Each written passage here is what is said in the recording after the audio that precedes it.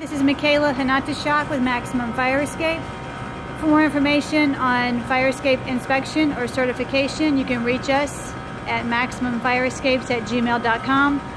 You can also reach us at 908-248-1921. Today I'm conducting an inspection at 821 Franklin Ave in Garden City, New York. This is backside system number two. Uh, you'll notice here that this tread is completely broken.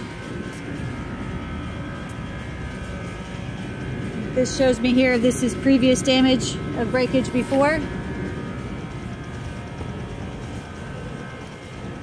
All tread connections need to be clean,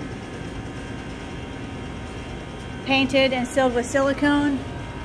Tread clips look tight, also need to be welded and sealed to prevent water damage in the future. A lot of rust jacking here in this clip. Needs to be cleaned and rewelded.